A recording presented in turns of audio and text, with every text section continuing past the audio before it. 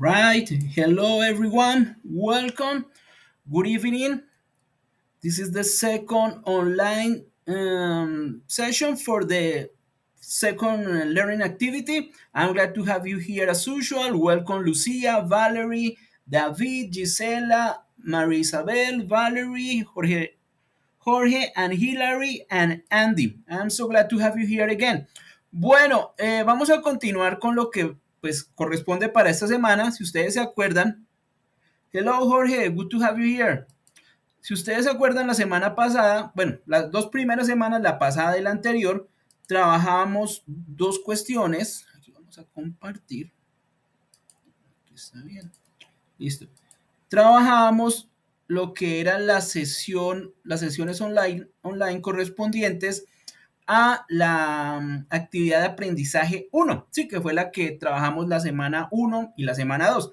Ya estamos en la semana 3, entonces primero y antes de continuar, me confirman si me escuchan bien, alguno de ustedes, y si pueden ver mi pantalla ahí de forma correcta. Tiene que aparecer un pantallazo aquí con una tablita que tiene un encabezado verde. Me confirman si por favor puede. Ok, thank you so much, Hillary and Andy. Bueno, entonces vamos a mirar acá lo siguiente. Como yo les contaba, esta semana ya es la semana 3, entonces ya pasamos la semana 1, que era de las actividades previas. La semana 2, bueno, la semana 1 y 2, ahí teníamos Learning Activity 1, que es la actividad de aprendizaje 1. Y acá tenemos pues eh, Online Session Learning Activity 1, que fue lo que hicimos la semana pasada.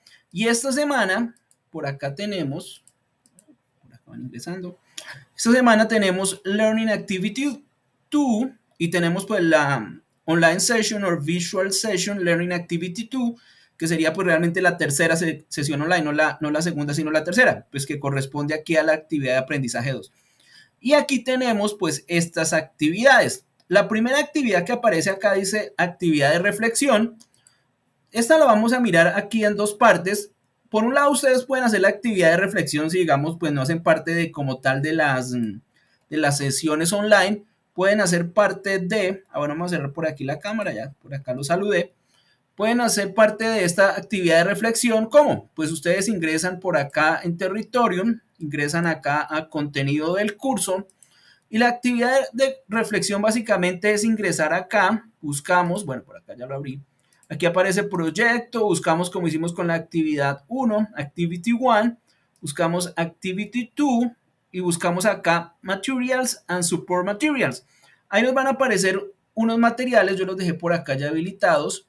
Esos aparecen en dos maneras, aparecen de forma mm, eh, multimedia, como la que les voy a mostrar acá, les voy a mostrar como las generalidades, pero pues ustedes igual son como tal los que los van a revisar y aparece una versión en PDF, que también es para que ustedes la, la revisen si, por ejemplo, por alguna razón no tienen acceso a esta parte, porque algunos yo sé que a veces ven el curso en celular o bueno, no tienen realmente acceso a esta parte por cuestiones del, equipo, entonces también lo pueden hacer por la parte multi, eh, del PDF, que es básicamente el mismo contenido, pero pues acá ya aparece poco más dinámico. Aquí hay una parte de introduction, nos van a contar, nos van a contar de qué se trata. Acá vamos a hablar de likes and dislikes, las cosas que nos gustan y nos disgustan.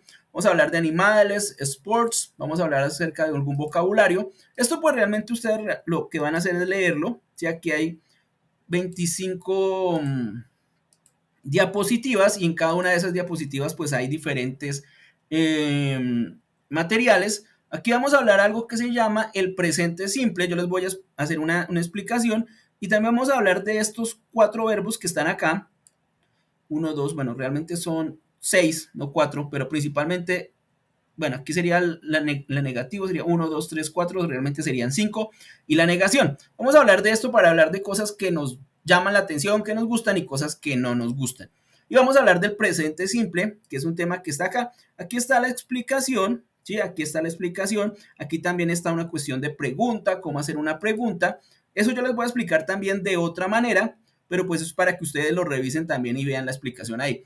Después de que miren esto de introduction, vamos a ir acá donde dice contextualization, van a mirar acá y aquí aparece una situación, un, em, un diálogo donde ellos utilizan ese mismo vocabulario y esas cosas que se vieron acá. Sí, es cuestión de revisarlo ahí.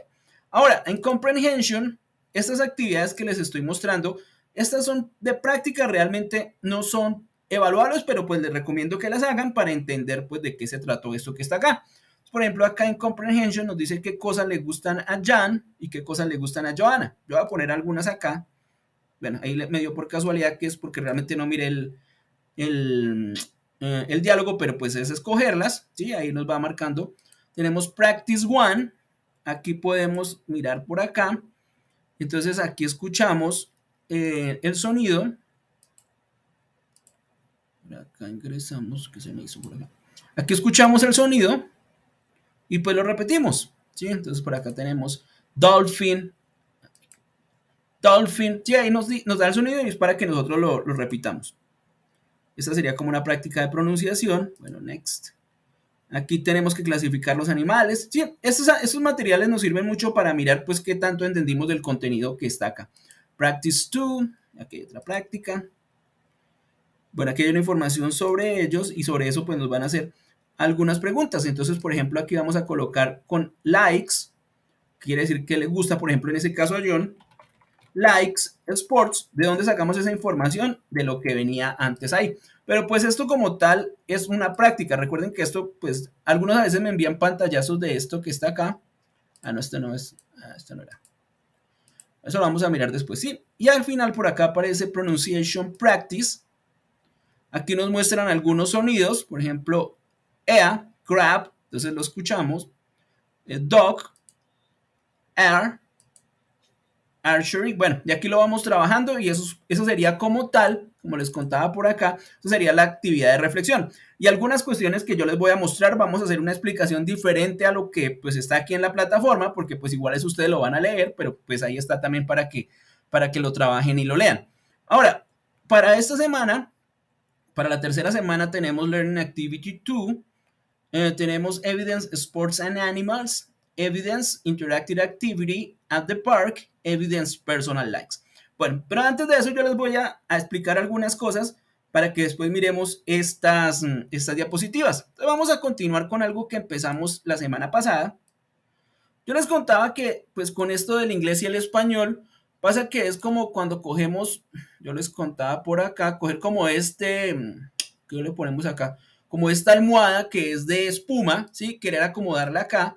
Si lo queremos hacer directamente, pues tenemos el problema de pues que no va a caber, ¿sí? Si ustedes se fijan acá. Ah, por acá ingresando alguien más. Perdónenme por acá un segundo. Listo.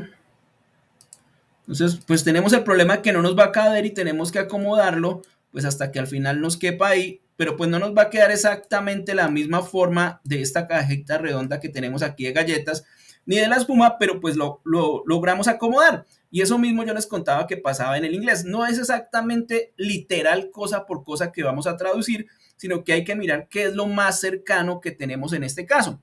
Entonces era lo mismo con el español y el inglés. Entonces acá pues si queremos traducir algo del inglés al español o viceversa, pues tenemos que acomodarnos un poco a lo que tiene pues el otro idioma. Sí, no va a ser una cuestión de carácter literal, sino que pues aquí van a quedar algunas cosas que no son tan exactas, pero pues así es como está dado, ¿sí? Aunque sean dos figuras geométricas, pero pues no cabe una exactamente en la otra. Ahora, antes de mostrarles cómo sería esto de las, de las oraciones y eso, yo les decía que pues como tal, la información que nosotros queremos dar a conocer, pues viene dado como en este recipiente que yo puse aquí una canasta, y en ese recipiente tenemos algo que en inglés se conoce como sentence, que por un lado puede ser sentencia, como una sentencia judicial, pero también es sentence, quiere decir una oración, ¿sí? donde transmitimos una idea con cierto tipo de palabras. Entonces, en nuestra canasta no vamos a colocar productos, sino lo que vamos a colocar es tipos de palabra. Y ahorita vamos a mirar un tipo de, palabra en particular que serían los verbos en el presente. Y en un caso particular que se llama presente simple. Pero vamos a mirar que no es tan simple y que tal vez no es tan presente como pues dice el título. Es una manera de nombrarlo, pero tiene más aplicaciones que solamente decir que es presente. Entonces acá yo les contaba también que en este caso lo que pasa es que pues si colocamos todo en una sola canasta se nos vuelve un revuelto de cosas. Entonces lo que tenemos que hacer es separar cada cosita por aparte. Entonces, por ejemplo, acá vamos a colocar la carne, aquí vamos a colocar los lácteos y aquí vamos a colocar las verduras, ¿sí? Para que no se nos contamine una cosa con la otra. Y así mismo pasa con, con las oraciones en inglés. La oración base o como la plantilla sobre la que vamos a empezar a hacer oraciones es esa que tiene un sujeto, subject, action, que sería pues la acción, que pues gramaticalmente se conoce como un verbo, y un object, que sería el objeto, que pues también puede ser una persona, que es la que recibe esa acción. Ahora, vamos a mirar acá un ejemplo, pues en español, podríamos decir. Vamos a mirarlo en, inglés después. Por ejemplo, podemos decir en, español, yo, no sé, yo amo, eh, coloquémoslo aquí, no sé, yo amo el coloquémosle el fútbol, por ejemplo. Sí, soy muy fanático y me encanta el fútbol. Eso mismo, pues ahí tenemos sujeto, verbo y el objeto. Aquí ya está el verbo conjugado. Eh, también lo podríamos hacer en inglés. Entonces podríamos decir en este caso, I love, y aquí le coloquemos, pues hay dos formas de decir fútbol en, en inglés, que sería fútbol, por un lado, pues es como más británico, pero por ejemplo, en inglés americano, pues al fútbol que nosotros conocemos, pues se le dice es soccer, pero pues es lo mismo, sino que dependiendo del lugar, se le dice diferente. Entonces, I love soccer, yo amo el fútbol, listo, ahí está bien.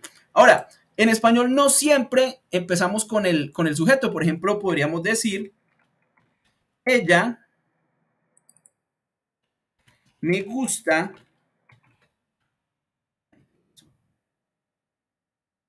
ella me gusta a mí, ¿cierto? En este caso, si ustedes se dan cuenta, realmente yo soy el que pues está interesado en ella, pero es raro porque en español, por ejemplo, en este caso empezaríamos con ella y terminamos con la persona que genera la acción, ¿sí? Entonces, en español no siempre vamos a empezar con el sujeto, a veces empieza es con el objeto. En español, en inglés no es así.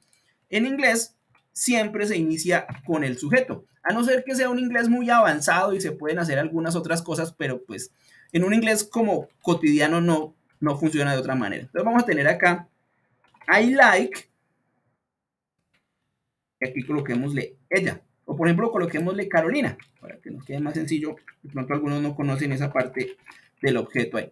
Entonces, I like Carolina se traduciría de cierta forma como yo gusto de, Carolina, ¿sí? Pero en ese caso, lo que quiero llegar es que siempre vamos a empezar con el sujeto en este caso, después del verbo y después el, objeto que pues también puede ser una persona que recibe esa acción. Bueno, entonces la semana pasada también hablábamos por acá. ¿Qué hizo por acá? Ahora sí ya está. Espérenme acá un segundito.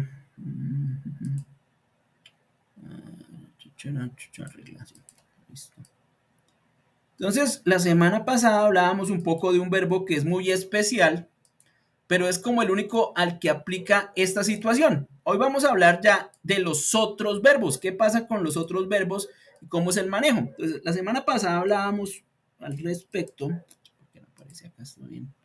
Permítame un segundo. Es que quiero que me mueva esto por acá. Ahora sí ya. Listo. Entonces hagamos esto un poquito más grande.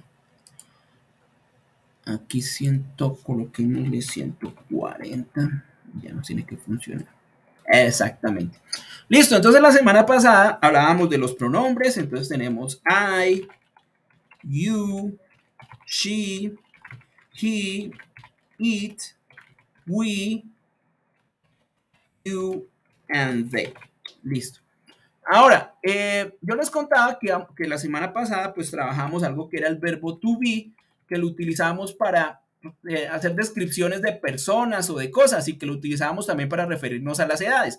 Hablábamos algo que decíamos que, por ejemplo, en este caso tenemos I am, you are, aquí tenemos el is,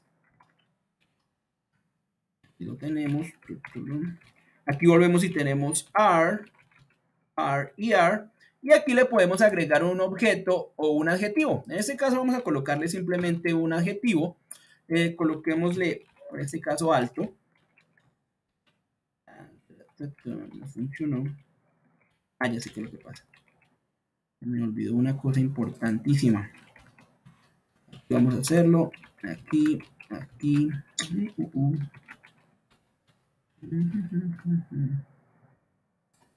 Vamos a colocarle esto.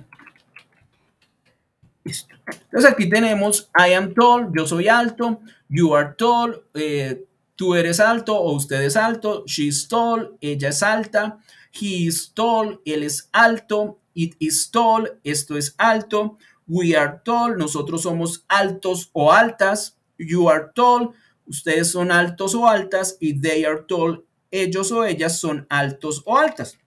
Como ustedes se dan cuenta acá, en inglés los adjetivos no tienen ni género ni número, entonces tall es tanto alta como alto y también es altos o altas. Eso fue algo que hablábamos y hablamos también al respecto de cómo describir edades y pues eh, el peso y cosas así.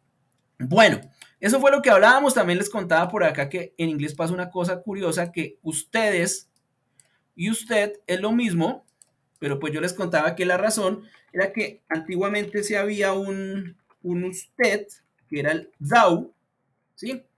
Pero pues por cuestiones de el, pues, del cambio de las circunstancias y pues se fue volviendo que el thou, pues sí tiene, ah, ¿qué se me hizo por acá? Eh, pues era complicado para conjugarlo y sonaba como muy anticuado, entonces con el tiempo lo que pasó fue que pues las personas tomaron el usted y el ustedes y lo volvieron iguales. Aquí con el usted y ustedes, ¿cómo saber de qué se está hablando? Si nos dirigimos a una persona en específico con nuestra corporalidad o con algo que dijimos antes, pues asumimos que es usted. Si no se dirige hacia alguien en especial y pues es como más abierto de lo que se está hablando o no se menciona a alguien en particular, pues podemos decir que es ustedes. Sí, ahí hay que mirar el contexto porque los dos se pronuncian igual, los dos tienen la misma gramática, eh, sí, entonces ahí hay que mirar el contexto porque pues los dos significan las dos cosas, tanto usted como ustedes. Bueno, ahora vamos a mirar acá, tenemos acá lo que está en, en, inglés referente al verbo to be, que fue lo que hablábamos la semana pasada, y algo que se llamaba el there to be, que hablábamos algo del there is, que es para I, ¿sí? También hablábamos de algo que decíamos por acá, there para decir que hay, pero en plural, que fue lo que hablamos la semana pasada.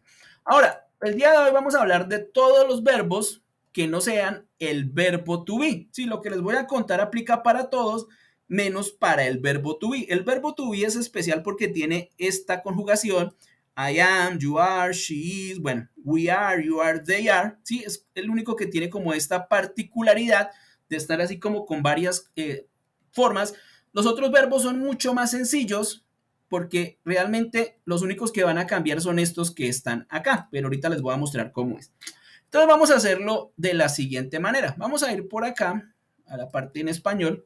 Vamos a hacer un pequeño ejemplo. Entonces aquí tenemos yo, usted, que es lo mismo que tenemos en la parte de abajo, ella. Aquí coloquémosle él, algunos pues me dirán, ah, profe, pero ¿por qué ella primero y después él? Luego no es al revés. Pues en este caso el orden no afecta porque pues igual es la misma gramática para los dos casos. Em, nosotros o nosotras, aquí como nosotros o nosotras, tendríamos ustedes, que por ejemplo pasa en el español, nosotros manejamos ustedes y vosotros, pero para esta parte del mundo el vosotros cayó en desuso hace mucho tiempo.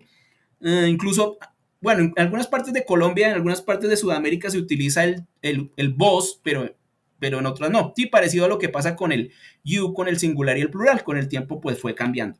Ustedes, aquí coloquémosle ellos o ellas. Listo. Aquí vamos a colocarle eh, coloquémosle fútbol, como por seguir con el mismo que teníamos hace rato. La misma explicación, entonces coloquémosle aquí el fútbol. Y lo vamos a copiar. Ese va a ser nuestro, nuestro objeto para estos ejemplos que vamos a colocar el día de hoy. Ah, creo que alguien va entrando por acá. de la entrada. Va entrando alguien. Listo. Mm, bueno, entonces aquí, ¿qué tenemos? Vamos a hablar hoy de la conjugación de los verbos que pues representan acciones um, en el presente simple, pero también después les voy a contar que no es tan presente y no es tan simple. tiene otra, o sea, tiene ese nombre como esa etiqueta, pero esa etiqueta no nos dice mucho realmente de la utilidad que tiene. Entonces vamos a empezar por acá y aquí vamos a tener que el, el verbo va a ser el verbo, pues coloquémosle el verbo jugar, puede ser, ¿sí? Entonces, ¿qué pasa acá? Aquí tenemos el verbo jugar y pues tiene la terminación AR. A colocar. Lo vamos a copiar así para darles ahorita la misma explicación de esto, pero en inglés, para que me entiendan de dónde sale lo que les voy a explicar en inglés.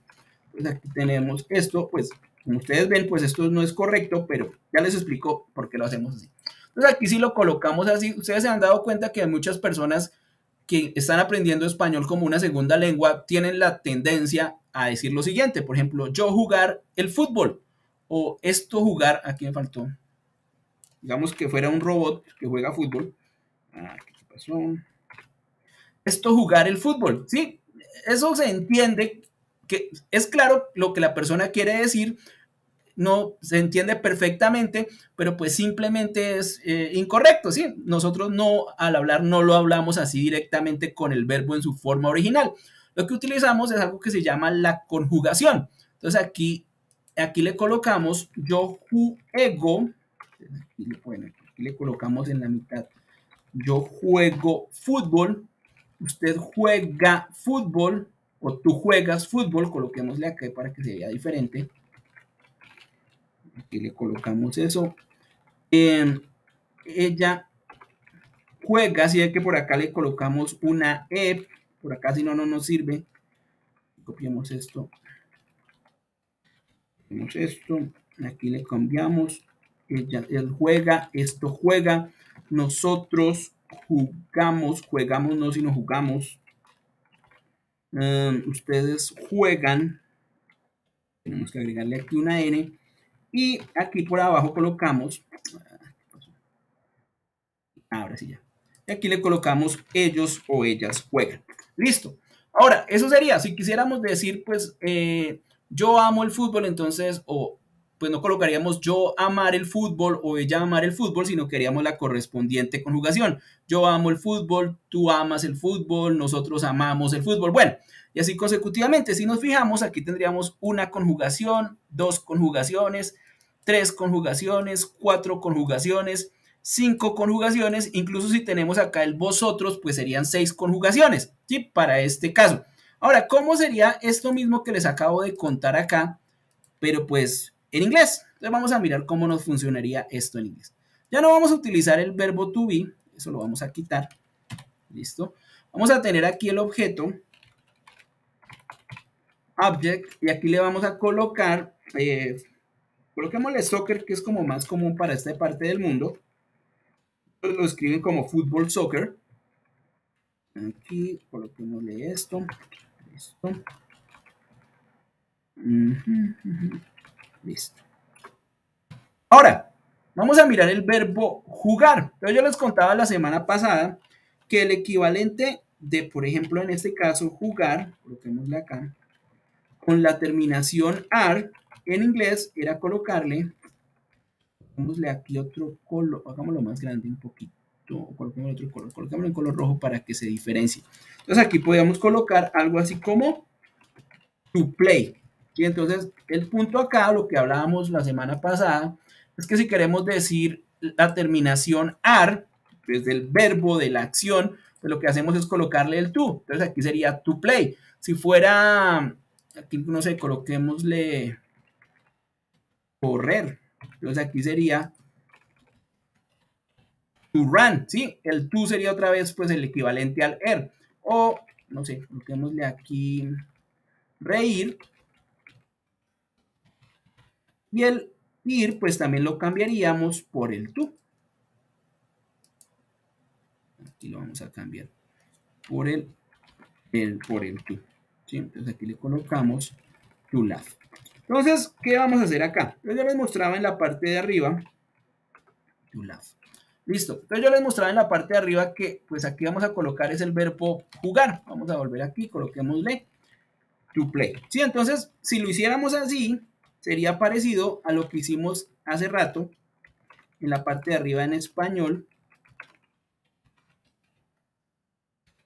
pues que nos quedaría I to play soccer, sería algo así como yo jugar fútbol, you to play soccer, eh, tú jugar fútbol, sí nos quedaría we to play soccer, nosotros jugar fútbol, se entendería, pero pues sería incorrecto. Entonces lo primero que tenemos que hacer en este caso es que para todos los casos le vamos a quitar el tú.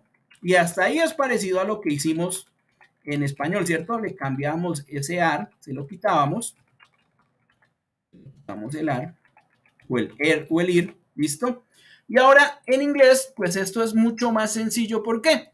Porque lo que vamos a hacer en este caso es que los únicos que vamos a tener en cuenta para la conjugación, ¿sí? Para cambiarle el final, como hacíamos por ejemplo acá, en este caso, si ven que acá cada uno de estos tuvimos que cambiarle eh, el final, entonces ya no era jugar sino juego, ya no era jugar sino juegas, sí, aquí lo vamos cambiando. Si ustedes se fijan, estos tres tienen exactamente la misma conjugación, por eso es que si ustedes miran un libro, siempre aparece él antes de ella, pero pues yo lo cambio para que se den cuenta que pues aquí el orden no altera el producto, si es ella o él o esto, aquí va a ser exactamente lo mismo. ¿A qué vengo acá? En inglés también estos tres tienen la misma, eh, la misma conjugación, pero en la gran mayoría de casos pues va a ser muy sencillo porque lo único que vamos a tener acá o la letra que nos va a dar la conjugación para la gran mayoría de casos es simplemente, vamos esto bien grande acá, es simplemente agregarle una S al verbo. Coloquémosla acá y hagámoslo un poquito más grande. Bien, aquí lo que hacemos es que para que nos quede exactamente lo que tenemos arriba, tenemos esto. Para que nos dé exactamente lo mismo. Bueno, aquí medio en mayúscula, pero ahí tiene que ir en minúscula, pero no nos vamos a detener en eso porque nos gastamos un tiempo. Eso que les coloqué ahí en inglés abajo es exactamente lo mismo que está acá. La diferencia es que en inglés, en español, tenemos que hacer una conjugación por cada uno de estos casos. Si ustedes ven que le vamos cambiando y tenemos que agregarle para cada uno de esos sujetos, tenemos que agregarle una letra diferente y también depende del verbo. Bueno, en inglés también depende del verbo, pero las combinaciones van a ser menos. Aquí tenemos esto, por acá tenemos también esto así. lo hago aquí como paso por paso para que ustedes me entiendan la idea. Todo esto tenemos que hacerlo en español. Ahora, en inglés, simplemente vamos a hacer lo siguiente. Para todos los sujetos, menos estos que están acá que se llaman terceras personas, ya decimos por qué son terceras personas del singular, para todos simplemente les agregamos el verbo sin el tú, el que corresponda, y em, en el caso de las terceras personas, pues en la gran mayoría de casos le vamos a agregar una S al verbo. Y con eso ya nos queda conjugado. Aquí tendríamos yo juego fútbol, usted juega fútbol, ella juega fútbol, él juega fútbol, esto juega fútbol, nosotros jugamos fútbol, ustedes juegan fútbol y ellos o ellas juegan fútbol. Si ven que acá pues es solamente este pedacito y en la gran mayoría de los casos funciona así. Hagámoslo con otro verbo. Coloquemos el verbo love, que es amar, ¿sí? O encantar también podríamos decir. Cogemos esto acá. Y aquí pues lo único que tenemos que hacer es que en este caso, estos de acá, les vamos a agregar la S que yo les contaba. Y ya, eso es todo lo que tenemos que hacer. Y ya tenemos listo lo que llamamos comúnmente o lo que conocemos como la conjugación. Ahí en ese caso tenemos I love soccer, yo amo el fútbol, you love soccer, usted ama el fútbol, she loves soccer, ella ama el fútbol, he loves soccer, él ama el fútbol, it loves soccer, esto ama el fútbol, digamos que puede ser una mascota o puede ser también un robot que tiene sentimientos, o no sé, We love soccer, nosotros amamos el fútbol. You love soccer, ellos, ustedes aman el fútbol. Y they love soccer, ellos o ellas aman el fútbol. Y eso sería todo lo que tendríamos que hacer. Entonces, por ejemplo, para las evidencias que tenemos ahí, si ustedes quieren decir que eh, yo amo el fútbol o el baloncesto o lo que sea, simplemente colocamos el pronombre yo, el verbo amar y le colocamos aquí el objeto. Entonces, basketball. ¿Sí? y el deporte pues que corresponda. Bueno, eso sería así como la parte más, podríamos decir, general de cómo funciona esto, que le agregamos S o no. Ahora, sería muy bueno que pues solamente fuera agregándole la S en todos los casos. Sería genial que fuera así porque lo haría mucho más fácil. Pero pues realmente no siempre es así. Hay algunas pequeñas variaciones respecto a eso, pero solamente son eh, cuatro casos y pues ya vimos uno. Solo nos quedaría ver otros tres casos. Vamos a mirar cuáles serían esos casos. Vamos a mirar por acá. Aquí yo tengo unas reglas que van pues de cierta forma de manera descendente si no funciona una, pues miramos la otra. Si no funciona esta, miramos esta de acá. Y la última es la que yo les acabé de contar, que es que se les agrega la S. Si no cumple con ninguna de estas tres, pues lo que hacemos es agregarle la S. Entonces vamos a mirar acá. Si el verbo, ¿sí? la acción como tal que estamos hablando acá, aquí tenemos esto, termina en S, SH, CH, X, Z, o a ese verbo le vamos a agregar una ES. Entonces miremos un caso acá para que ustedes se den cuenta cómo funcionaría. Aquí tenemos esto acá. Ah, por ejemplo, alguien está mirando, observando con detenimiento, pues un partido de fútbol, ¿sí? Entonces miremos acá. Miremos acá el verbo watch. El verbo watch quiere decir mirar, pero pues mirar como con atención algo, ¿sí? Como cuando, lo, uno está mirando una pantalla eh, de la televisión o del computador, que uno pues efectivamente le está prestando atención a lo que hay dentro de la pantalla. Bueno, entonces, como yo les contaba, aquí coloquemos esto, pues aquí colocamos el verbo eh, mirar, pero pues aquí simplemente ya nos queda conjugado. I watch eh, soccer, yo miro el fútbol. You watch soccer, usted mira el fútbol. Esto de acá ahorita miramos. We watch soccer, nosotros miramos el fútbol, you watch soccer, ustedes miran el fútbol y they watch soccer, ellos o ellas miran el fútbol. Ahora, yo les contaba que en la gran mayoría de casos, pues le agregamos una S, ¿cierto? Si ustedes ven ahí, él me lo marca como que eso es incorrecto. en este caso, el corrector, ¿sí? Él me dice que no, pues que eso es equivocado y pues tiene toda la razón. ¿Por qué? Esto es una cuestión de pronunciación. ¿Por qué pasa esto?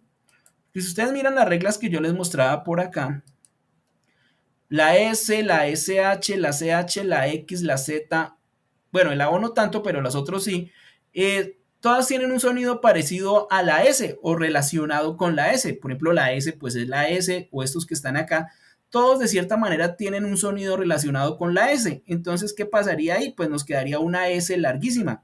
She watches soccer, ¿sí? Por pronunciación, entonces, en ese caso, le vamos a agregar ese. Y ella no lo corrige y dice, ah, bueno, ahí está bien. She watches soccer. Ella mira el fútbol. He watches soccer. Él mira el fútbol. Y it watches soccer. Esto mira el fútbol. Digamos que fuera un robot que es fanático del fútbol. Bueno, eh, ahí sería por ese lado. Esa sería pues la primera regla, ¿sí? Si, algo, si el verbo, la acción de la que estamos hablando, termina en alguna de estas seis letras, pues lo que vamos a hacer es agregarle la ES al verbo, pero solamente que sean terceras personas del singular. ¿Por qué son terceras personas del singular? Ella, él o esto. Porque yo soy la primera persona, que es la que les está hablando a ustedes, la que está enviando el mensaje. Usted eh, es la segunda persona porque es la que recibe el mensaje. Aquí, por ejemplo, si decimos, no sé, ahorita que salga en la televisión, por ejemplo, Amparo Grisales. No sé si Grisales se escribe así. Pero digamos que sí, creo que no. No, ah, no me lo coloca en inglés, pero bueno, digamos que así se escribe así. La verdad no sé cómo se escribe Grisales, de pronto es con Z aquí al final. Entonces tenemos Amparo Grisales watches soccer. Ah, entonces yo estoy enviando el mensaje de que pues ella hace esto, usted lo recibe y ella pues realmente no está acá, por eso es una tercera persona, ¿sí? Y como es solamente una, pues decimos que es tercera persona del singular. Aquí podemos decir que Messi, Messi watches soccer, es lo mismo. En este caso, Messi es una tercera persona, a, en este caso yo y usted, porque él no está aquí y estamos hablando acerca de él. O bueno, pudiera estar aquí, pero pues es más fácil entenderlo asumiendo que él no está. Y aquí podríamos colocarle the robot, el robot watches soccer. ¿sí? Entonces yo soy el que dice el mensaje, la primera persona, la segunda es usted y el tercero pues sería en este caso el robot. Entonces por esa razón decimos que ella, él o esto son terceras personas del singular y tenemos que aplicarle pues la S o la ES en este caso particular. Listo, miremos acá una segunda regla, ya miramos dos de cuatro, ahora miremos las otras dos que nos quedan. Y esta, también tiene que ver con terminación, pero em, hay que mirarla con cuidado porque a veces nos podemos confundir acá. Esta es como la única que hay que, que depende. Ya esta es más fácil de entender y la última es la que hablábamos de que si no cumple nada de esto, pues le vamos a agregar una S.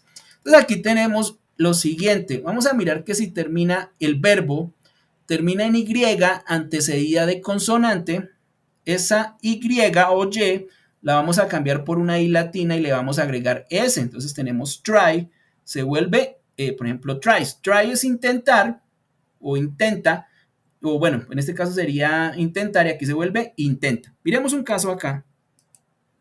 Em, por ejemplo, miremos con el verbo estudiar. Digamos que es un, un aficionado del fútbol que estudia el, deporte como tal y hace un análisis muy, muy específico sobre, el, sobre los partidos. No sé, de pronto un comentarista o alguien que se dedica a ver partidos de fútbol. Entonces es la misma cuestión. Para todos los casos, eh, tenemos acá, pues dejamos el, el, verbo tal cual. En el caso de que termine en Y, pues como les decía, la cambiamos por I latina y le agregamos IES. Aquí le colocamos así. Y ya nos quedaría Vamos a darle otra vez. Control V y Control V. Entonces aquí ya tendríamos She studies soccer. Ella estudia al fútbol, ¿sí? Como, como una ciencia, por ejemplo, así. Pues si alguien lo quiere mirar, pues lo podría ver de esa manera. He studies soccer y the studies soccer. We study soccer. Sí, aquí lo que hicimos fue que cambiamos la Y por I latina. Eh, miremos un caso donde no aplique, pero pues lo vamos a cambiar acá. Mm, quitemos este. Si no termina en, en Y con antes una consonante, por ejemplo, como el verbo, miremos otro verbo. Por ejemplo, el verbo comprar, en ese no aplica, ¿por qué? Vamos a decir que compra el fútbol porque sería, pues, como raro. Aquí, en ese caso, no podemos cambiarle por IES. ¿Por qué? Porque si ustedes se fijan, antes no tiene una consonante, sino tienes una vocal. ¿sí? Por eso él me lo marca como equivocado. Simplemente tendríamos que agregarle la S. Bueno, eso sería la segunda regla. De cuatro, ya vimos tres. Vamos a mirar una cuarta, que es pues muy sencilla. Aquí vamos a mirar y es esta que tenemos por acá. Ahora, hay uno que es particular y es el verbo have, que es el verbo tener. Si el verbo tener no se ajusta ni a esto que está acá, ni a esto que está acá, es como rebelde de cierta forma y no podemos simplemente agregarle la S o ES, sino que lo cambiamos es por has. Vamos a mirar aquí cómo sería. Cambiemos soccer por otra cosa porque no nos sirve. Uh, cambiémoslo por Cambiémoslo aquí por un balón de fútbol. Puede ser. Para que nos funcione mejor. Vamos acá.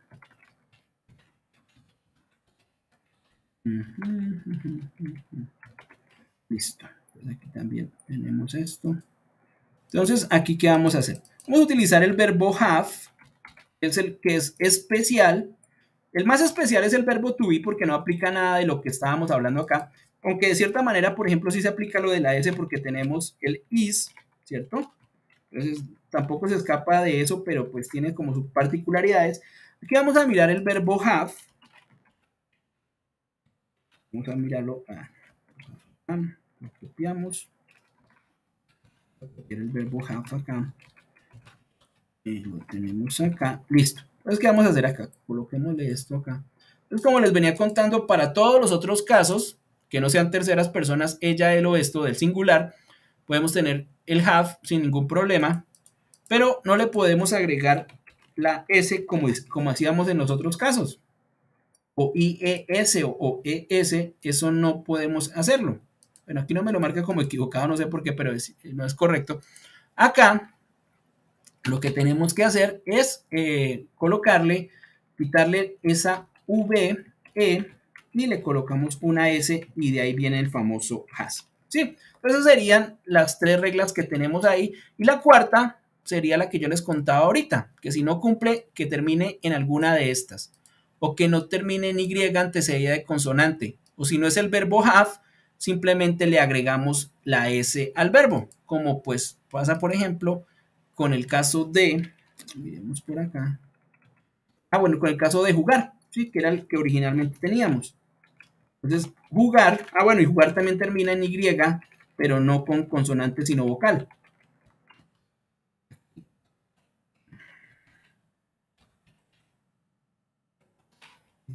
esto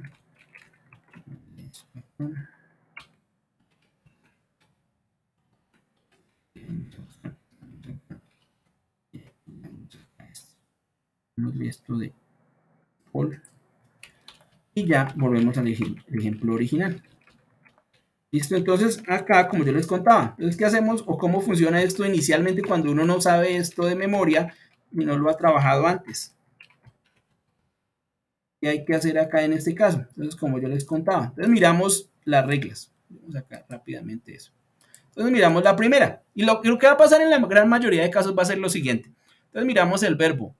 Entonces, para todos nos sirve, menos para estas terceras personas. Quitemos este color acá que puede ser confuso. Quitemos este y quitemos esto acá. Entonces, miramos ahí, para todos nos sirve, menos para estas terceras personas. Entonces, tenemos el verbo play. Entonces, miramos las reglas. Entonces, termina en S, SH, CH, X, Z, U, O. Ah, no, entonces no nos sirve esto. Termina en Y, sí, pero aquí dice antecedida de consonante. Y antes tenemos por acá es una vocal, entonces no nos sirve esa regla, entonces no aplica. Listo.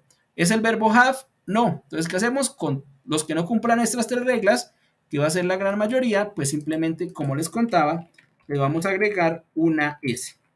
Y eso es todo lo que hay que hacer acá en este caso. Listo, listo por acá y listo por acá. Eso sería todo lo que tendríamos que hacer y ya nos quedaría lo mismo que tenemos acá, ¿sí? En español tendríamos que hacer todas estas combinaciones. En inglés tendríamos que fijarnos en si es tercera persona y si lo es, pues cuál es la terminación y en la gran mayoría pues le vamos a terminar agregando una S. Con ustedes la semana pasada trabajábamos un ejercicio, hoy vamos a hacer también. Vamos a hacer el siguiente ejercicio, pero primero les voy a mostrar de qué se trata porque no les he mostrado. ¿Recuerdan que la semana pasada hicimos algo que se llama un Kahoot? Les voy a mostrar por acá.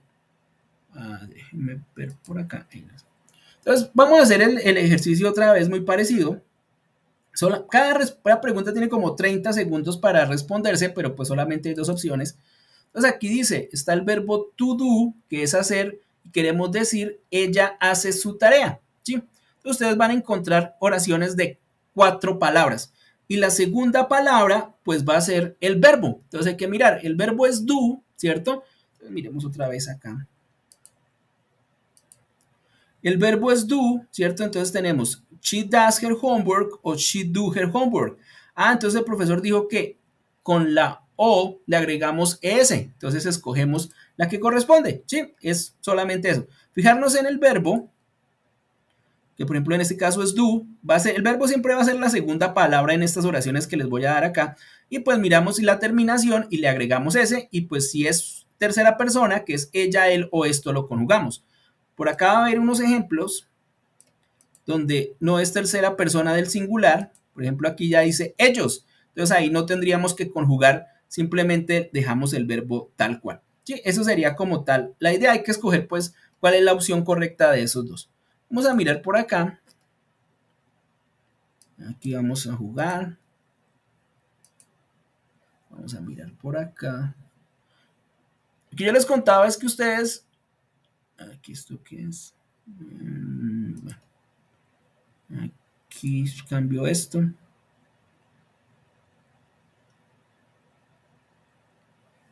No, espérenme que esto no es lo que yo quiero. Espérenme por acá.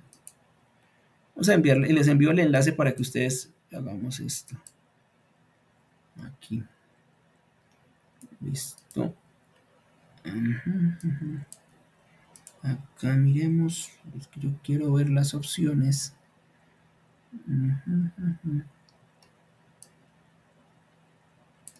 Aquí donde deja ver las opciones.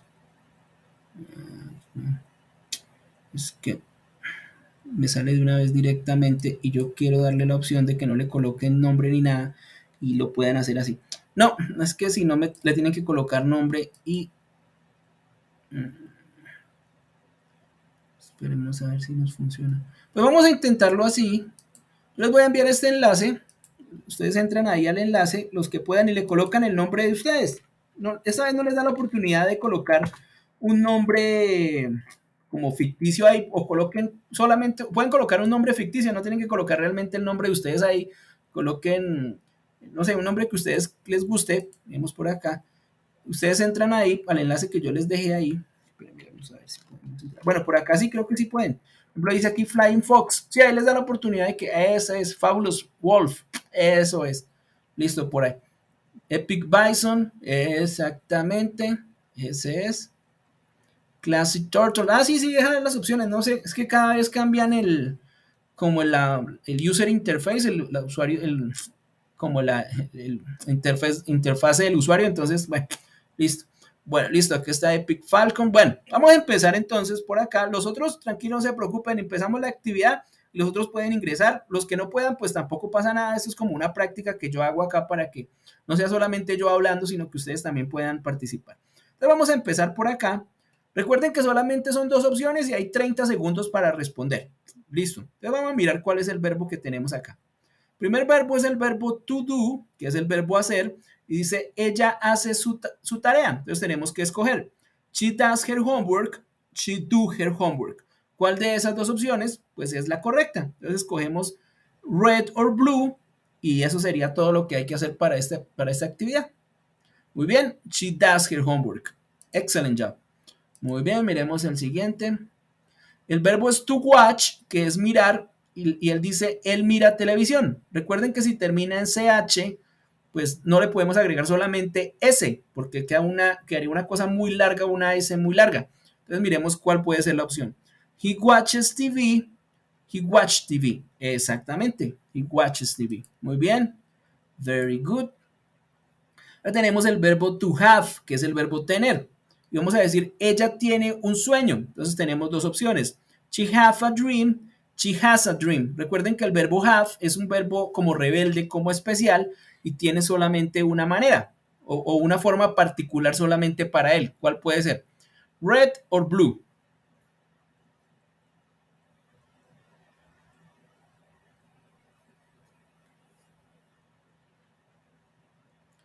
That's good. She has a dream. Recuerden que no podemos colocarle haves o have porque este es un caso particular. Ok, next one. To teach, que es enseñar. Carolina enseña inglés. Entonces tenemos el verbo to teach y termina en CH. Es lo mismo que watch. ¿sí? ¿Se acuerdan que terminaba en CH? Entonces, ¿cómo nos queda? Carolina teaches English. Carolina teach English. Entonces, ¿cuál sería la opción correcta? Red or blue?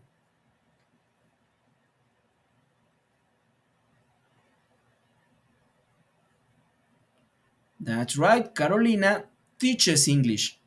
¿Listo? Entonces, como estamos hablando de Carolina, que es ella, tenemos que conjugar y le agregamos la ES en este caso. Ok, next one. To study, que es el verbo estudiar. Vamos a decir que Carlos estudia francés. Recuerden que como termina en Y y antes tiene una consonante, esa Y tenemos que cambiarla. Entonces, ¿cuál es la respuesta? Carlos study French. Carlos studies French. So please choose red or white. Okay, right. The right answer is the blue one.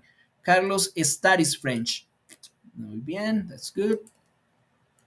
To unbox, que es desempacar. Vamos a decir que María desempaca un celular. Entonces tenemos María unboxes a cell phone o María unbox a cell phone. Recuerden que una X tiene un sonido parecido a una S. Entonces no le podemos agregar directamente la letra S sola, sino que tenemos que agregarle dos letras en este caso. Entonces, ¿cómo nos queda? María unboxes a cell phone, María unboxes a cell phone. Muy bien. Maria unboxes a cell phone. That's really good. Next one. A mirar este caso. Recuerden que hay que mirar si es tercera persona o no. Aquí tenemos el verbo to read y dice ellos leen un libro, pero ellos no es ni ella, ni él, ni esto. Entonces, ahí yo les contaba que solamente se le agrega a ella, él o esto, pero como no es, ¿cuál podría ser? They read a book, they reads a book. Sí, recuerden que este caso es diferente a los anteriores porque ya no es ni ella, ni él, ni esto, sino es ellos. Entonces, ahí ya no hay necesidad de agregarle nada al verbo, sino que queda directamente así. Muy bien. They read a book. Excellent. Next one. To buy. Vamos a mirar aquí la traducción de él compra un carro. Tenemos el verbo to buy, que es comprar, pero recuerden que aunque termina en Y, antes tiene solamente es una vocal, no una consonante. Entonces la Y no cambia, pero pues sí hay conjugación. Entonces tenemos, he buys a car, he buys a car. So please tell me what the answer is. Red or blue? The answer is blue. ¿Por qué? En los otros casos sí cambiaba, por ejemplo en study sí cambiaba porque antes terminaba, miremos por acá. La regla ahí es la siguiente. Termina en Y antecedida de consonante, ¿sí? Pero en el caso de by, si ustedes lo miran, no termina en consonante, sino en, Y y después tiene antes es una vocal. Sí, sí, es A, E, I, O, U y tiene Y, simplemente le agregamos la S. Cosa diferente al que teníamos de estudiar, que era study, que terminaba en Y y antes tenía una D. Por eso era que cambiaba. Ok, let's see the next one. To clean, que es limpiar. Y aquí pasa algo parecido con el de ellos, pero esta vez es ellas. Ellas limpian la mesa. Entonces, en este caso, recuerden que no es ni ella, ni él, ni esto. Entonces, no se necesita conjugar. So, we have two options. They clean the table. They cleans the table. Which one it is? Red or blue?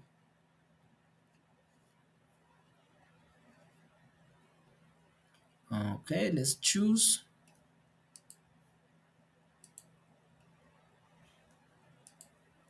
The right one is they clean the table. Ellas limpian la mesa. ¿Por qué? Porque en este caso no es ella, ni él, ni esto, sino es ellas. All right, let's see the next one. The last one. Esto habla inglés. Tenemos el verbo to speak, que es hablar. Queremos decir que esto habla inglés. Entonces miremos acá, la K no cumple ninguna de las que es X, ni S, ni CH, ni X, ni Z, ni O. No termina en Y, no es el verbo have. Entonces cuando no se cumple ninguna, ¿qué le agregamos al verbo? Sí hay que conjugarlo porque es esto. Pero ¿cuál sería?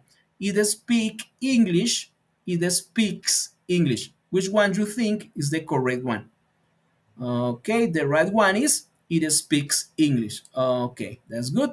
So for the podium, we have on the third place, we have Hero Gator. On the second place, we've got Fabulous Wolf, and the winner is Epic Falcon. Congratulations.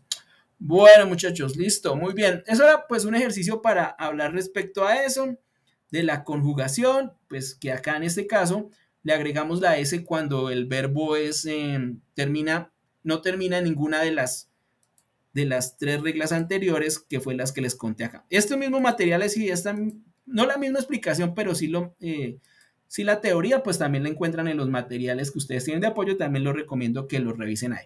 Listo, eso sería una parte. Ahora, resulta y pasa que pues no siempre queremos hacer eh, afirmaciones como estas. Algunas veces podemos hacer cuestiones que son preguntas.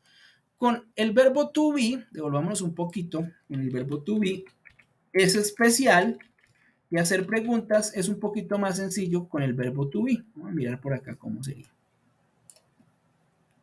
Vamos a colocarlo por acá. Mm, miramos el verbo to be primero.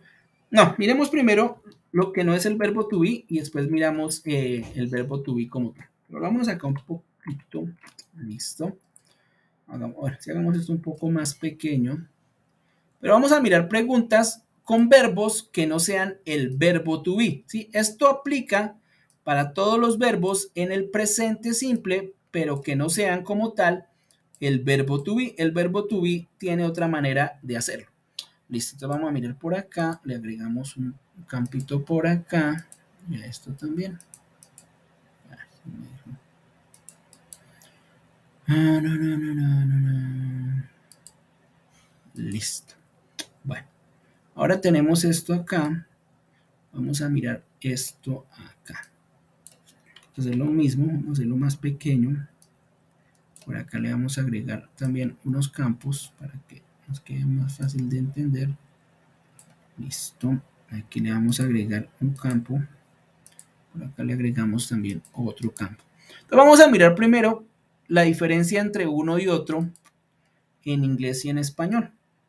Esto, coloquémoslo aquí como en la misma línea para que sea más fácil. Aquí está mejor. Aquí está. Y aquí por acá queda mejor. Listo. Entonces vamos a mirar cómo hacemos una pregunta en español y lo vamos a comparar con su equivalente en inglés. Entonces vamos a hacerlo de la siguiente manera. Entonces, cuando nosotros queremos hacer una pregunta de manera hablada, pues lo que hacemos es que es la misma afirmación, pero subimos la entonación. Ejemplo, en el caso de que esto sea una afirmación, diríamos yo juego fútbol. La entonación es neutral. Yo juego el fútbol. Bueno, yo juego el fútbol, suena un poco raro ahí, no sé por qué se me quedó ese ahí. Esto acá.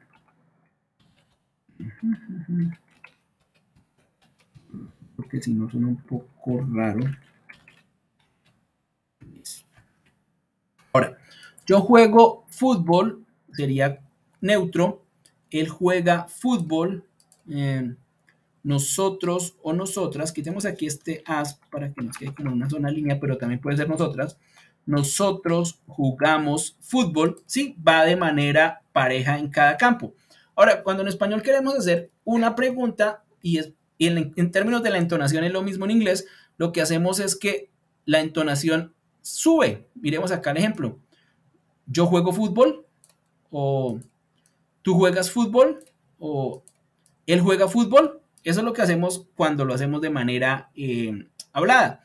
Ahora, cuando es de forma escrita, lo que hacemos es que como pues no podemos mostrar la entonación ahí, lo que hacemos es que le agregamos, por acá, lo que hacemos es agregarle una cuestión que nosotros conocemos como el signo de pregunta. Entonces lo colocamos aquí al iniciar la oración para mostrar que es una pregunta y lo colocamos también al final para mostrar que es una, em, una pregunta. Entonces aquí le colocamos esto.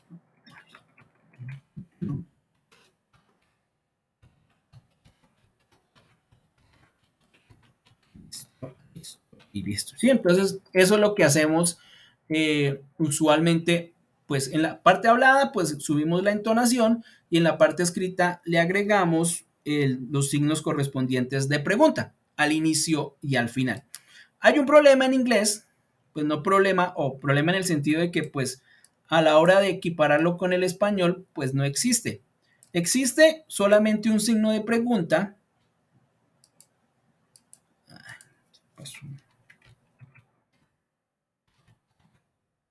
Existe solamente un signo de pregunta y es al final, ¿sí? Entonces, si es, eh, si es en la forma hablada, de forma informal, podríamos hacerlo eh, subiendo la entonación.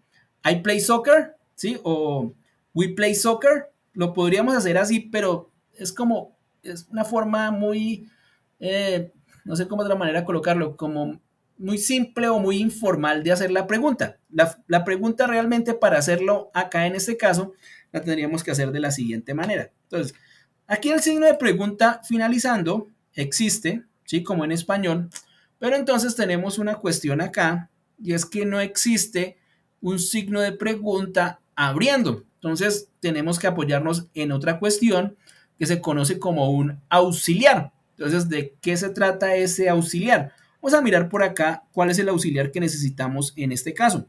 Pues el auxiliar, como su nombre lo indica, pues es algo que nos auxilia, algo que nos, que nos apoya. Vamos a mirar por acá. Entonces, el auxiliar del que vamos a hablar acá, vamos esto mucho más grande, esto como muy pequeño, es la letra acá. Listo. Em, el auxiliar del que vamos a hablar, pues también es un verbo. Y como verbo, miremoslo acá primero, como verbo, pues traduce hacer. ¿sí? Entonces, como yo les contaba, tenemos el tú, pues que indica la terminación ar, er, ir. Y esto va a ser el, este va a ser el auxiliar que vamos a utilizar. Vamos a colocarle acá. Copiémoslo acá. Y lo vamos a colocar, pero no va a salir muy grande, un poquito más pequeño por acá.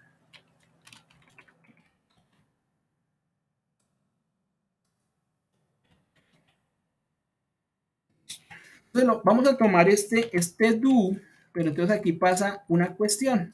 Les voy a mostrar que, porque esto a veces nos puede confundir un poco.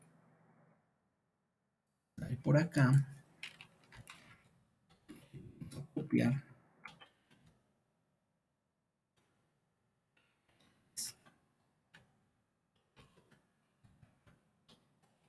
Ahorita les cuento qué pasa con los de tercera persona. Vamos a utilizarlo para todos los demás. Entonces aquí tenemos que, si lo miramos así, ustedes dicen, ah, pero aquí tenemos el do, y este do dice hacer, suena muy raro, ¿cómo así que do I play soccer? Sería algo así como hacer yo jugar fútbol, o do we play soccer, eh, hacer yo jugar fútbol, o hago yo jugar fútbol, no tiene ningún sentido realmente. Lo que pasa es que en este caso, o en ese contexto que lo vamos a utilizar ahí, si aparece al inicio de la oración, o se pronuncia al inicio de la, oración, ese do va a ser el equivalente del signo de pregunta abriendo, ¿sí? Para ponerlo de una forma muy rara, pero pues así es. En este caso el do, como auxiliar, que nos auxilia para hacer la pregunta, en este caso el do nos sirve como el signo de pregunta, pero es un signo de pregunta que se pronuncia, ¿sí? Es un poco raro, pero pues básicamente eso sería la equivalencia del do en este caso. Entonces, el signo de pregunta que nosotros tenemos en español, abriendo, ¿sí? Lo vamos a reemplazar para todos los que no sean terceras personas con el auxiliar do, ¿sí? Ustedes ven acá que aquí estamos haciendo la pregunta. Do you play soccer? Do you like soccer? Do you love soccer? Sí, aquí le podemos colocar diferentes verbos pero pues aquí vamos a empezar con el do para indicar que es una pregunta. Lo podemos hacer en el, sin el do, pero suena como muy simple, como muy informal. Sí se puede hacer de vez en cuando, pero es mejor tratar de evitarlo. Se entiende, pero no es lo correcto. Ahora, en el caso de, de ella, él y esto, el do lo vamos a tomar. Ustedes se acuerdan que yo les conté que cuando el verbo termina en o, le agregamos es y pues eso también aplica en este caso, así sea auxiliar. Entonces ahí es donde viene el famoso das. ¿sí? ¿Por qué no me funciona en español? Ahora sí ya. Entonces ahí lo que hacemos es que lo copiamos y solo nos quedaría una cosa pendiente. Como aquí ya está conjugado y solo se necesita una conjugación, pues le quitamos la S ahí. Ahora, pues básicamente lo que yo quería contarles acá es que eh, para hacer afirmaciones, lo que hacemos es tomar, primero aquí como un resumen de lo que hicimos y ya hablamos sobre las evidencias, lo que hacemos es tomar el verbo y pues a las terceras personas le agregamos la S o la ES o según corresponda. Ahora, si queremos hacer preguntas, pues como no hay signo de pregunta abriendo en español, en inglés, perdón, lo que hacemos es que vamos a reemplazar ese ese signo de pregunta por una palabra, pero pues básicamente el equivalente es como si fuera el signo de pregunta, pero es un signo de pregunta que se pronuncia. Ahora, ¿esto para qué nos sirve esto del... Bueno, y para el caso de las terceras personas utilizamos es das y quitamos aquí la conjugación del verbo original. Ahora, ¿para qué nos sirve esto que hemos hablado aquí el día de hoy y ya pasamos a las, las evidencias? Estos tipos de cuestiones nos sirven para tres cosas nos sirven para hablar acerca de rutinas. Ejemplo, supongamos que ustedes tienen un cronograma. Uno. Aquí tenemos un schedule o weekly schedule, un cronograma semanal. Aquí yo lo puse de, de lunes a viernes. Y digamos que el martes por la mañana, me hice lo que yo quería. Todos los martes por la mañana ustedes juegan fútbol. Entonces ustedes lo que van a decir... Ah, ya sé qué lo que pasa. Lo que van a decir es lo siguiente.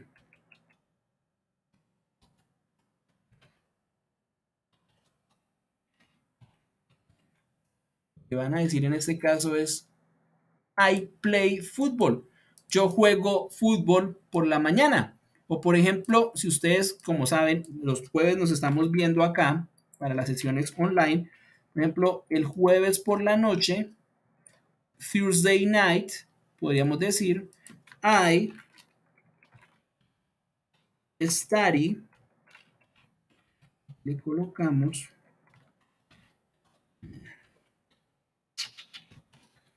English. I study English. Yo estudio inglés cuando, pues usualmente los jueves por la noche, ¿sí? Eso es un uso que usualmente tiene em, el presente simple, sujeto de verbo en presente y le colocamos, ah, que no soy yo sino ella. Entonces aquí le colocamos, she plays soccer, she studies English. ¿sí? Eso sería la equivalente de lo que está. Eso sería una cosa para lo que se utiliza eh, por un lado. Otra cosa para lo que se utiliza es para mostrar cosas que son ciertas. Se dirán, profe, ¿cómo así cosas que son ciertas? Vemos acá esto. Vemos acá.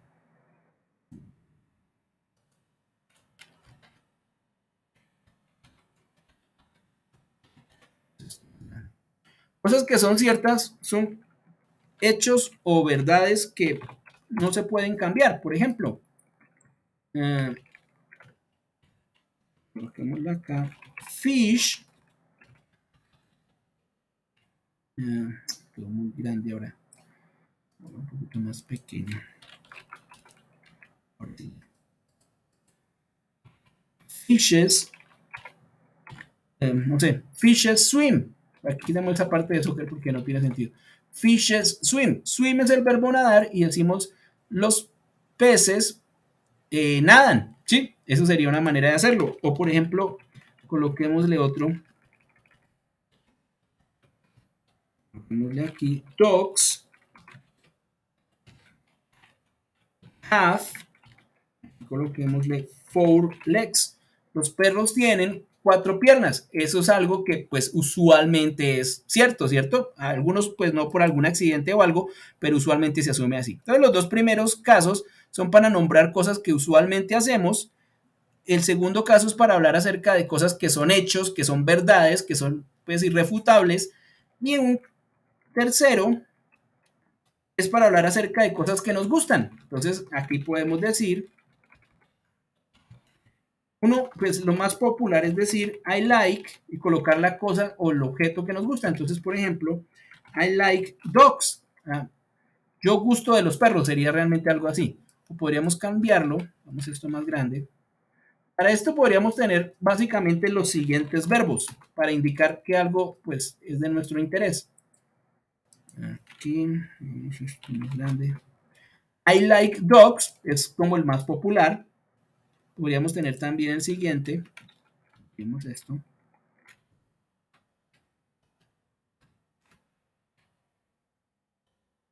Podemos también utilizar el verbo love. I love dogs. Yo amo a los perros. Podría también ser una opción. Y otro que tendríamos acá, mm, podríamos decir acá, I like, love. Esos serían como los más populares. Miremos otro, miremos el, lo opuesto por el momento. Miremos cuando no nos gustan o pues no nos llaman la atención. Entonces miremos acá, podríamos tener I dislike dogs, a mí me disgustan los perros o no me gustan. Y podríamos también colocarle, que este es más fuerte, I hate dogs, yo odio a los perros. ¿sí? Eso sería básicamente el like, el love, el dislike y el hate. Son como las cosas más generales que podríamos utilizar para mostrar nuestro gusto o desagrado respecto a algo. Este dislike sería como me desagradan los perros, realmente. Bueno, eso sería por ese lado. Entonces, ya para rematar, vamos a hablar acerca de las evidencias, pero era eso. Entonces, para hablar del presente simple, pues podemos utilizarlo con un sujeto, una acción que el verbo pues simplemente es colocarlo, a no ser que sean terceras personas, que le agregamos la es y lo que estaba ahí y le colocamos un objeto. Esto nos sirve para hablar acerca de rutinas, nos sirve para hablar acerca de eh, pues verdades como los perros tienen cuatro patas, ¿sí? podría ser eso es una verdad irrefutable, algunos pocos no por accidente, pero usualmente es así, y para hablar acerca de nuestros gustos y pues cosas que nos, no nos gustan. Y pues también les contaba que para hacer una pregunta en este tiempo, o en este caso, pues lo que tenemos que hacer es colocarle al inicio el auxiliar do o el auxiliar das. Bueno, con el verbo to be, pues es diferente. Es, esto que les acabo de explicar no aplica para el verbo to be, pero para las evidencias que vamos a hacer no necesitamos tanto el verbo to be. vamos a hablar acerca de las evidencias como tal. Y como les contaba al principio, tenemos, por acá, ver una cosa, así estamos bien. Eh, bueno, vamos, como yo les contaba y siempre les he dicho, podemos ir aquí a contenido del curso. Les recomiendo que lo hagan así porque algunos a veces ingresan por este botón de evidencias y ahí están las evidencias o, bueno, pueden ingresar por diferentes partes, pero no van a estar organizadas. Sí, aparecen y a veces me envían las cosas por el lugar que no corresponde, entonces hay que volver a hacer el envío. Entonces, como les contaba, era la actividad de reflexión. Aquí tenemos una evidencia que dice Evidence Sports and Animals. Vamos a mirar esa. Entonces entramos aquí donde dice, bueno, aquí tenemos proyecto, tenemos esto aquí de schedule. Vamos aquí donde dice activity 2 y buscamos la parte de evidences. Acá desapareció el AMR. Por acá me preguntan, acá desapareció el AMR antes, después del A o U.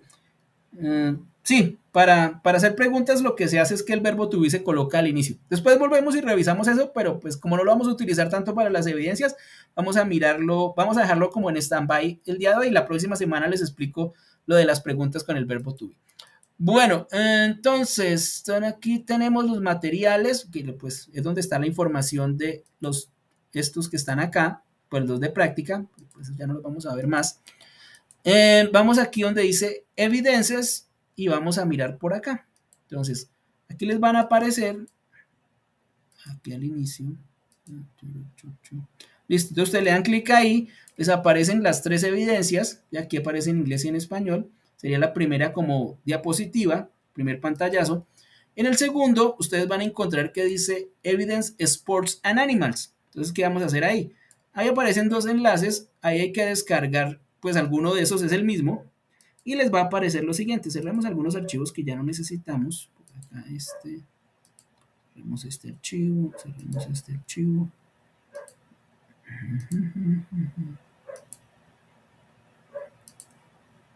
Cerremos este por acá también. Esto más bien sí.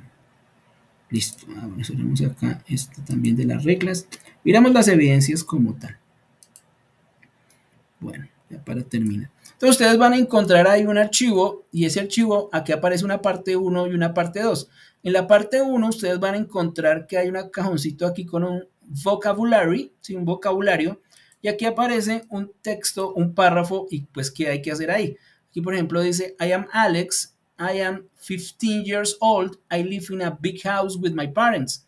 I love animals especially y pues hay que escoger cuál es el que corresponde acá. Por ejemplo, aquí dice we have a golden labrador. Nosotros tenemos un labrador dorado, esa es la traducción en español, realmente sí no sé cómo sería la, raza en español. Entonces lo que hacemos, pues, ah, bueno, lo que más se asemeja acá, pues es la palabra dogs, entonces la colocamos, sí, es completar con esto que tenemos por acá. Por acá alguien me pregunta algo, no sé. Aquí alguien me preguntaba algo. Ah, bueno, ok. Lenin, you are very welcome. Bueno, listo. Entonces vamos a mirar por acá. Eso sería esa parte. Ahora, en la segunda parte, ustedes van a encontrar que hay que completar una, un diálogo, una conversación. Hay que utilizar el verbo like en la forma afirmativa, negativa o interrogativa. Bueno, la forma negativa no la vimos, ahorita les voy a mostrar acá. Entonces ustedes ven que aquí tenemos un signo de pregunta y queremos utilizar el verbo like. Entonces, ¿qué hacemos? Do para reemplazar, este do lo utilizamos para reemplazar el signo de, está muy pequeña esa letra, ahora sí, el do lo utilizamos para reemplazar el signo de pregunta abriendo, pero como no hay, pues utilizamos el do. Do you, y aquí pues en el espacio le colocamos el verbo like. Do you like sports? Listo, acá sigue. Eh, yes, y aquí pues tenemos que utilizar el verbo like. I like volleyball and tennis. What about you? Bueno, aquí pues los otros son afirmativos. Eh, aquí, por ejemplo, para negaciones, vamos a hacerlo acá. Lo que hacemos es que le colocamos, nosotros diríamos en español algo así como I not like, diríamos algo así. Eh, a mí o yo no gusto del fútbol, pero entonces para las para las negaciones, también necesitamos el auxiliar. ¿Sí? Los auxiliares los utilizamos para que nos auxilien en las preguntas y en las negaciones. No podemos dejar ese not solo, sino que tenemos que auxiliarnos con el auxiliar do. I do not like football o también pues como se conoce más popularmente, I don't like football. Sí, eso sería otra manera de hacerlo. I am a terrible, eh, eh, a terrible football player. Y aquí vuelve otra pregunta. Do you like football? Aquí se me ocurrió Do you like football? Sí, hay que completarlo con el, con el like, con el verbo like en afirmación o en negación. Aquí como para hacer un resumen de eso, el verbo like en afirmación y negación pues sería de la siguiente manera. Mi pregunta, vámonos acá para que ustedes lo tengan más claro. Listo.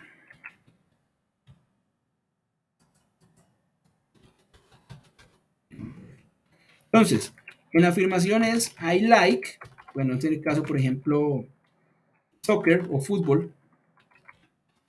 En, pregunta,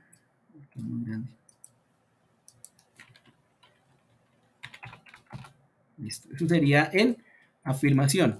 Ahora, en negación, en pregunta, hagámoslo primero en pregunta, y le colocamos tú, pues, to you, que es como más común, esto me está quedando muy grande, ya me pasé al otro extremo. Aquí vamos a terminar con esto. Ya vamos a terminar, ya falta poco. Me acepta esto porque está en español, creo. Aquí, ah, en inglés. ¿Qué se hizo? Listo. Bueno, entonces aquí tenemos afirmación, I like soccer o fútbol, do you like soccer? Entonces aquí tenemos el do que nos auxilia, porque es un auxiliar, y miremos la negación. Entonces para negar, hacemos es lo siguiente. Aquí le colocamos pues no, ¿cierto? Pero como les contaba, tenemos que apoyarnos en el auxiliar para decir I do not like soccer o I don't like soccer. Aquí sería afirmación, pregunta con el do y negación con el do not o don't. Listo, eso sería entonces la, eh, esa, esa, evidencia 1, mm, pues que es llenar los espacios ahí que están. Algunos pues lo que han hecho es que me, a veces me colocan con, con el verbo to be, hacen preguntas pero con el verbo to be, pero aquí realmente no, no es necesario el, el verbo to be porque pues estamos hablando acerca de los gustos que tenemos, no como la descripción como tal sería la, bueno, entonces la, la, la, desarrollamos, desarrollamos la evidencia, la guardamos, yo no le voy a dar aquí guardar. Vamos al espacio correspondiente. Ah, bueno, ya, ya hablamos de eso, Lady. Mm, bueno, aquí por acá dice alguien. Bueno, ya miramos las, las preguntas. Ya vamos a terminar acá, les termino de explicar y ya miramos las preguntas. Eh, bueno, entonces ustedes ven ahí, entonces ya cuando tengan la evidencia, van donde dice ver evidencia y él les muestra el espacio para enviar. Ah, por el momento no me está dejando ahí entrar, pero pues ustedes entran ahí, ahí dice adjuntar archivo y lo envían. Listo, miremos la siguiente que es la interactiva. ustedes van acá, esta no hay que enviar nada, lo que hay que hacer es eh, ingresar ahí, aquí están las instrucciones, si las quieren traducir aquí donde dice translate, lo pueden hacer. Vamos aquí donde dice next. Y aquí nos van a aparecer algunos deportes y lo que hay es que completarlos. Por ejemplo, aquí están, aquí están las letras y ustedes ven aquí pues el tipo de cosas que se hacen en ese deporte. Entonces, aquí le vamos a colocar aerobics. Le damos verificar y nos dice que tiene que estar bien. Ahora sí. Aquí, por ejemplo, dice soccer. Sí, pues está desorganizado. Lo que hay que hacer es completarlo. Verify. Sí, y así lo hacemos con cada una de las que correspondan. Aquí, bueno, aquí van apareciendo otros que aquí tiene que ver con la equitación, pero pues aquí están las letras desorganizadas en inglés. Y le damos verificar y hasta el final ya nos lleva. Listo, miremos la última evidencia y ya damos, y damos respuesta a las preguntas que ustedes tienen. Bueno, entonces ustedes siguen navegando ahí. Cerremos esto del cajón, ya no lo necesitamos. Siguen navegando ahí en el espacio de evidencias y los lleva a la última evidencia, como el último pantallazo o diapositiva. Ahí como tal, pues ahí ese archivo lo pueden descargar, pero pues ese no necesitan enviármelo porque básicamente lo que nos va a pedir es lo siguiente. Ahí nos dice que, que hablemos acerca de tres deportes que nos gusten o que no nos gusten, también podemos hablar acerca de ellos. Vamos a hablar acerca de nuestros intereses. La evidencia se llama, ah, ¿qué se hizo por acá? La evidencia se llama, me deja ver. La evidencia se llama personal likes, ¿sí? Como los gustos personales. Por acá yo tengo uno que envió uno de ustedes. Alguno de ustedes envió este y yo lo acomodé un poquito. La evidencia se llama personal likes y lo que vamos a hacer es que vamos a hacer en un archivo de Word, puede ser, y vamos a hablar de tres deportes que nos gusten y contar un poco acerca del por qué. Y vamos a hablar acerca de tres animales que nos gusten o nos disgusten y vamos a contar un poco acerca del por qué y acerca de esos animales. Por ejemplo, acá, aquí dice, hi, bueno, aquí él colocó el nombre, pero yo se lo quité. I am 23 years old, I am from the city of Barranquilla, I like sports such, entonces me gustan los deportes como soccer, I love playing soccer with my teammates. A mí me gusta jugar fútbol con mis compañeros de equipo. Y bueno, dice que juega tres veces a la semana. Por acá también dice, in the, in the afternoon I like to jog outdoors. En la tarde a mí me gusta correr o trotar afuera, ¿sí? en la calle. Y finalmente, I like the gym every day. I do a gym workout. Todos los días hago una rutina de ejercicios eh, para el crecimiento de los músculos o resistencia del cuerpo. ¿sí? Entonces ahí nos cuenta con el like, con el love, también nos cuenta que es que le gusta. Eh, I like animals. I have a dog called Benji. Yo tengo un, perro llamado Benji. Aquí nos cuenta que I go jogging with him. Yo voy y troto con él en el parque o en algún lugar permitido. Y nosotros amamos a Benji o adoramos a Benji. I love horses to ride on my grandfather's farm. I like to ride a horse. Me gustan los caballos eh, y lo hacemos en la, en la finca de mi abuelo y nos gusta eh, montar caballos. ¿Listo? Y finalmente por acá habla de un tercero que serían los tigres. ¿Y por qué pues le gustan? Porque son tranquilos y bueno, eso sería. Entonces hay que hablar de tres deportes y colocar pues unas imágenes que correspondan a esos tres deportes que están ahí. No tienen que ser imágenes de ustedes, pueden ser imágenes tomadas de internet. Y eso serían las tres evidencias. Ahora, ya para responder las preguntas que ustedes tienen en particular, vamos a terminar con eso. Entonces, por acá íbamos por lo siguiente. Bueno, eh, Lenny dice, thanks for the class, you are very welcome. Jorge, profe, todavía me recibe la activity de las fotos y el anunciado de la primera actividad se me olvidó. Sí, vamos a hablar un poco respecto a eso. Creo que, bueno, Angélica me dice, thanks for the class, you are very welcome. Lady Joana me pregunta que pues si puede colocarse al día. Entonces vamos a hablar respecto a eso. Acá ustedes ven que en el, en el cronograma, es un poquito más grande, no, deja, no, no se cambió todo esto por acá. Bueno, por acá sí deja. En el cronograma hay unas fechas, ¿cierto? Pero esas son unas fechas sobre todo de tipo como, eh, o bueno, yo lo pongo como sugeridas, ¿sí? Estas fechas que están acá es las que necesitamos llevar, pero como para llevar el proceso al corte. Pero pues como ustedes saben, el proceso de la virtualidad es un proceso más flexible que el, de la presencialidad. Entonces, si por alguna razón ustedes no alcanzaron a completar las evidencias de las dos primeras semanas, no alcanzaron a completar la actividad de aprendizaje 1, aún pueden hacerlo pues en esta semana, no hay ningún inconveniente. Yo siempre pongo el caso extremo de que pues la virtualidad es tan flexible que se podría hacer lo siguiente, pero pues no tiene mucho sentido hacerlo así porque sería hacerlo por hacerlo, pero se podría. Digamos, si alguno de ustedes quisiera, podría entrar el primer día y desarrollar todas las actividades y enviarlas, enviarlas el primer día, pero pues, pues sin haber revisado ni nada los materiales, pues, pues va a ser un poco complejo.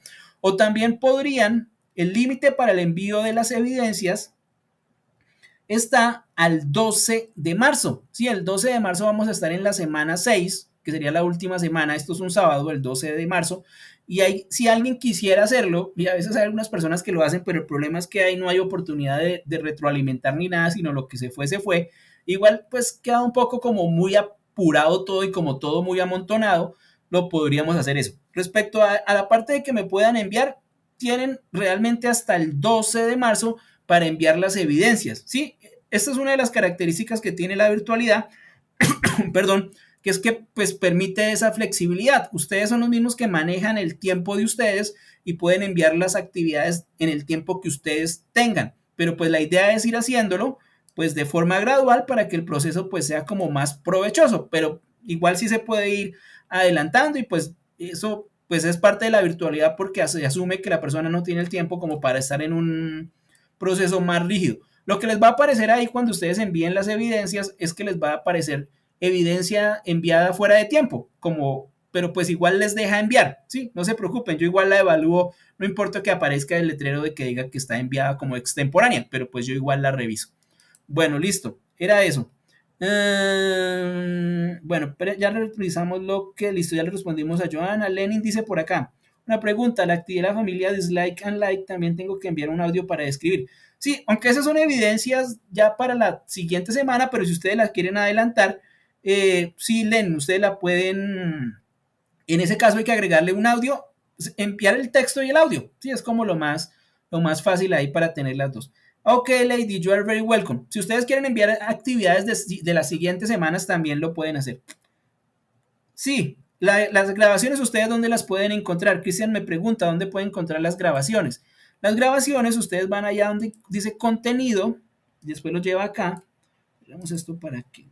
Ustedes van a contenido, proyecto, y acá en la parte de abajo dice online sessions, y aquí dice web conference recording, y ahí también va a aparecer la de hoy. Ahí está la que hicimos el 3 de febrero y la que hicimos la semana pasada el 10 de febrero. Listo. Ok, Cristian. Ok, guys, it's been a pleasure to be with you. I like to ask you if you might have any other query or question or doubt. Bueno, ha sido un placer estar con ustedes. Yo siempre me extiendo un poquito más de la hora que se supone que es, pero pues igual creo que es provechoso para todos. Eh, me preguntaba si ustedes tienen alguna duda, inquietud o alguna cuestión que me quieran decir. Puede ser por el chat o abriendo el micrófono y con eso terminamos el día de hoy. Any questions? ¿Alguna pregunta? Dígame, Cristian.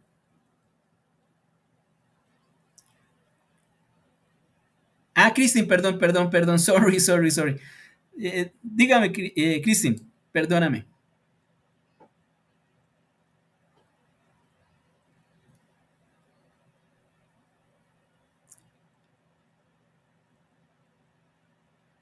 Ah, sí, sí, sí, sí, sí, sí. Lo vi así de pasada. Qué pena contigo. Sí, tienes toda la razón, Cristin. My apologies, mis disculpas. Eh, bueno, ¿Hay alguna otra cuestión? Creo que pues ustedes me dicen que estamos aquí al día. Igual ustedes saben que me pueden contactar por los foros, por el correo y yo estoy pendiente ahí. Pues igual la próxima semana también nos veremos para seguir hablando acerca de esto del inglés y miramos de pronto algunas cuestiones de preguntas con el verbo to be que son diferentes a las que vimos hoy, pero pues esas son más sencillas porque es cambiar una cosa de un lado al otro. Ok, everyone, good to see you as usual and I, I wish you a very resting a very nice evening and night. So, see you next week. Les deseo una muy buena noche de descanso y nos vemos la próxima semana. Bye bye. Bye. Bye everyone. Bye Alejandra. Bye Lady. Bye Daniel.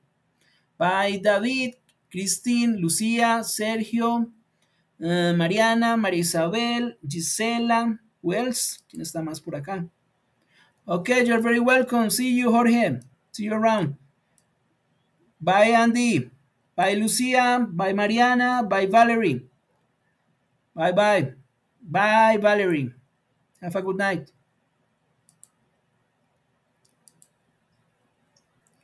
Bye, Daniel. See you.